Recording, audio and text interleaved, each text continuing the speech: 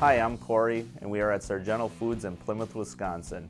My role at Sargento is a plant manufacturing technician, and in this role, I work on process improvements to make our product costs more effective.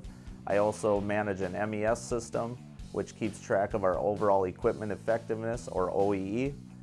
And I'm involved in a lot of teams where they need insight or leadership on to Im improve equipment or processes.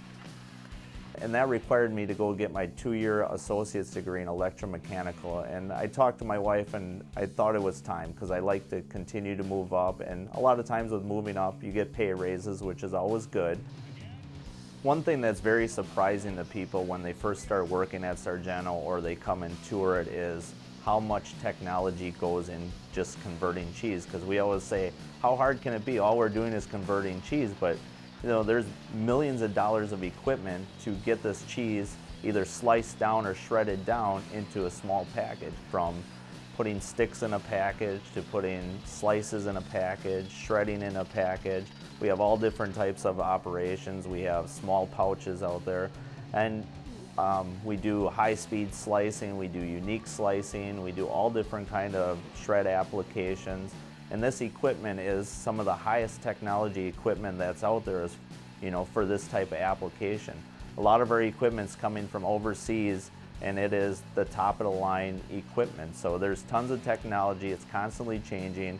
Most of the stuff, you have robots, you have processors running certain applications, and it's constantly taking a higher degree of education to service the equipment that we have. I work with um, sales, I work with IT department, I work with um, accounting, I work with engineering on a regular basis. I obviously work with production on a daily basis. Um, all the managers, at times I work with other plants to have some ideas that have the same equipment. So pretty much I touch most of the departments. There's times where they want to do graphic changes, so I get involved with marketing meetings. Sargento encourages continued education. They do tuition reimbursement and they're constantly sending me to um, whether it's PLC classes or other training courses just to better their employees, better myself. My favorite cheese is extra sharp cheddar. I, I have tons of pride when it comes to um, Sargento product because I feel that, you know, even though I don't touch every package that uh, comes out the door, I feel that I had some impact on how it was produced you know, whether it's directly or indirectly. If anyone comes to me and says there's a better product, they're going to have to have a very good argument because I'm going to stand up to that.